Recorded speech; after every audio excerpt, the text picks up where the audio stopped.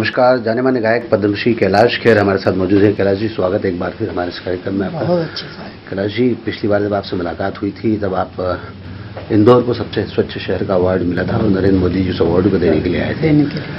तो स्वच्छता के क्षेत्र में इंदौर काफ़ी आगे आ गया है। मेरा सवाल ये कि उस समय भी आपके मन में एक टीस थी इंदौर के ट्रैफ़िक को लेकर।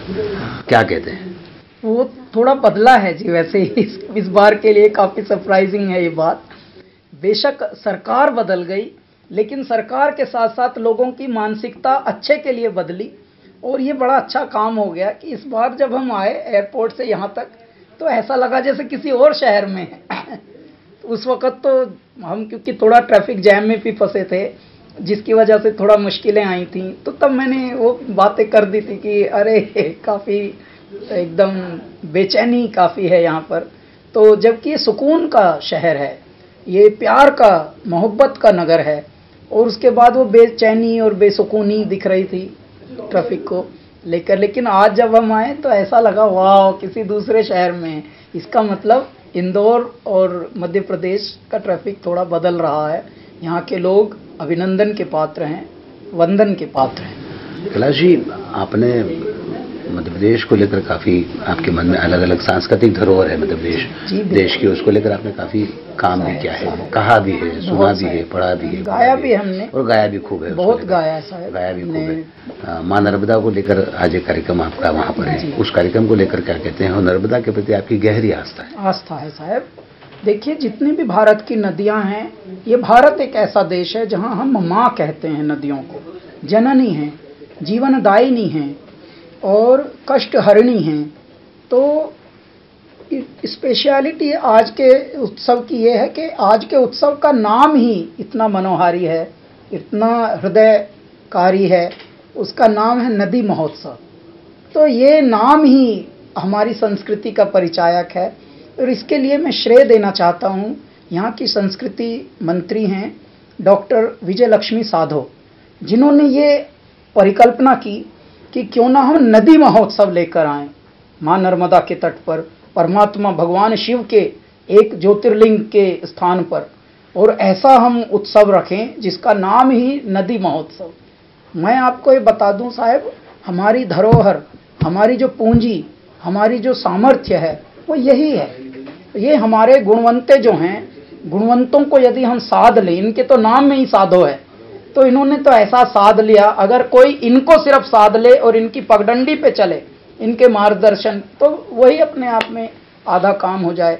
अब जैसे योग्य लोग मंत्रालय संभाल रहे हैं और योग्य लोग संस्कृति, योग्य लोग संगीत, कला और हमारे अध्यात्म को यदि आगे बढ़ा रहे हैं, हमारे युवाओं को प्रेरणा दे रहे हैं तो ये बहुत ही सुमार्ग पर चल रहा है हमारा देश।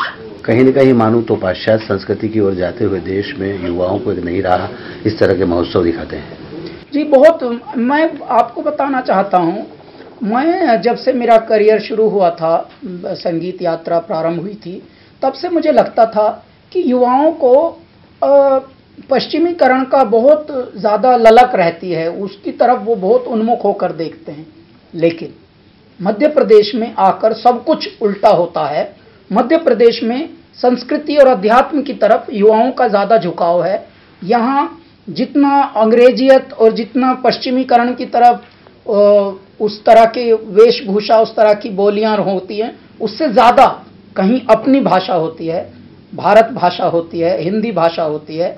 और तत्पश्चात हमारे अध्यात्म, हमारे जो मूल वैदिक जीवन जीने के तरीके हैं उसका बहुत यहाँ ख्याल रखा जाता है। ये मैंने देखा साहब मध्य प्रदेश इस केंद्र में ये केंद्र है भारत का एक्चुअली मध्य है। सुफियाना और निर्गुण की मैं बात करना चाहता हूँ। इन दोनों को समझने की बात करें तो क्या?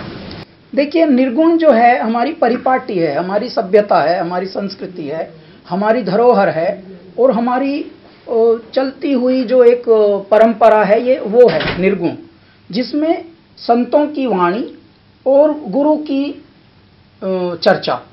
गुणों की चर्चा, गुरु की चर्चा, परम परमेश्वर की चर्चा और बस उसी की बात, यानी सकारात्मक बात। पहेलियों में भी कोई मूल छुपा है, जिसको हम मोरल ऑफ़ द स्टोरी बोलते हैं। ये है निर्गुण काव्य धारा अब निर्गुण में गागर में सागर होता है शायद। दो लाइनों में पूरा सार छुपा होता है। जीवन का तत्व और जीवन का तथ्य। और जीवन का सत्य ऐसे पकड़ा दिया जाता है। साहेब ये देखिए लकड़ी जल कोयला भई कोयला जल भई राख। और मैं बिरहन ऐसी जली न कोला भई ना राख। क्या बात तो ये जो दो दो दो चीज़ें लाइनें। लाइनें होती हैं इनमें पूरा सार छुपा होता है जीवन का। तो ये होता है निर्गुण। निर्गुण मतलब केवल ईश्वर का चमत्कारी गुणों की चर्चा। केवल अध्यात्म ही अध्यात्म केवल परमात्मा ही परमात्मा। निर्गुण। गुण ही गुण। व्यक्तिगत तौर पर देखा जाए आपने जैसे निर्गुण को परिभाषित किया है केवल परमात्मा ही परमात्मा। आपके बारे में भी माना ऐसा ही जाता है। जब भी आपसे बात करने का मौका मिलता है आपकी बातों में सिर्फ़ परमात्मा ही परमात्मा इसके हाँ। अलावा कुछ और झलकता नहीं भी या फिर संगीत। मैं साहब सच, सच में ऐसा मानता हूँ मेरे जीवन का सत्य है ये और यही मेरा कृत्य है। और मैं इसलिए सुनील जी इसको इसलिए बड़ी बात मानता हूँ जीवन में कि यदि आप सौंप दें अब सौंप दिया है जीवन का सब भार तुम्हारे हाथों में, जीत तुम्हारे हाथों में और हार तुम्हारे हाथों में। अभी बहुत लोग बोलते हैं, आप ऐसा गाते हैं, आप ऐसा गाते हैं। मैं बोलता हूँ, मैं नहीं गाता। ईश्वर गाते हैं। मैं तो पाइप हूँ। अमृत तो कहीं और से बह रहा है। मैं तो पाइप हूँ। ऐसा मुँह खोल के रखा है मैंने। परमात्मा का अमृत बह रहा है उस पाइप से। तो हम सब पाइप हैं, अगर ध्यान से देखा जाए तो। पाइप टेढ़ा मेढ़ा हो जाता है तो हॉस्पिटलों में चले जाते हैं। पाइप अचानक मर जाता है तो उसको रिसाइकलिंग के लिए पाँच तत्वों में विलीन हो जाना पड़ता है। ये सब पाइप, हम मशीनें हैं सब, उस तरह की।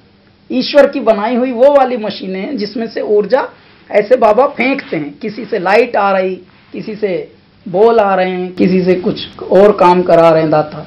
ऐसे। ईश्वर का आप पर काफ़ी प्रभाव है। इस बात से कोई और आपकी गहरी आस्था भी बहुत- उसकी बहुत उसके बिना आप अपने आप को अपूर्ण मानते हैं। हाँ। इसके अलावा ऐसा क्या जिसमें आपकी गहरी आस्था हो? संगीत और ईश्वर दो ही चीज़ें हैं साहब। यदि ये दो हटा दें तो मैं हूँ ही नहीं। संगीत के क्षेत्र में भी काफ़ी बदलाव हो रहा है। उसको लेकर क्या कह रहे हैं नहीं, बदलाव होना तो जीवन का सत्य है। प्रकृति का मतलब ही बदलाव है। देखिए कभी घी घने कभी मुट्ठी भर चने कभी उन्हें भी मने। आज मान लीजिए पतझड़ है कल बसंत ऋतु आएगी और यही जीवन का सत्य है। जीवन को एक शाश्वत सत्य की तरह आप मानते हैं। बिल्कुल साहब आने वाले समय में संगीत को लेकर अपने आपकी कला को लेकर क्या योजना है? भाई कोई योजनाएँ नहीं साहब। योजनाएँ मैं नहीं बनाता ईश्वर यम बनाते हैं योजनाएँ। और हम लोगों का शायद इस बार नया एल्बम आएगा। जी। तो उसी पर कार्य चालू है। कैलासा के बारे में बात करें? जी कैलासा। जी। कैलासा का नया एल्बम आएगा। फ़िल्म इंडस्ट्री की तरफ़ अभी आपका झुकाव और कार्यक्रमों की तरफ़ या आपकी जो संगीत की जो पूरी व्यवस्था है उसकी तरफ़ उनसे अगर कंपेयर करने जाए तो किस तरफ़ झुकाव ज़्यादा आपका? नहीं, हमारा सभी तरफ़ एक्चुअली काम हो रहा है और झुकाव मेरा ईश्वर की तरफ़ है, बाकी फ़िल्मों की तरफ़ कम है इल्मों की तरफ़ ज़्यादा फ़िल्मों की तरफ़ ज़्यादा। हमसे बातचीत करने के लिए बहुत बहुत शुक्रिया। बड़ी मेहरबानी आप। तो ये जाने माने गायक पद्मश्री कैलाश खेर जो आपसे रूबरू हो रहे थे और ईश्वर में गहरी आस्था रखते हैं साथ ही अपने सारे किए हुए कामों का श्रेय भी ईश्वर को ही देते हैं। Sunil Joshi I news Indore.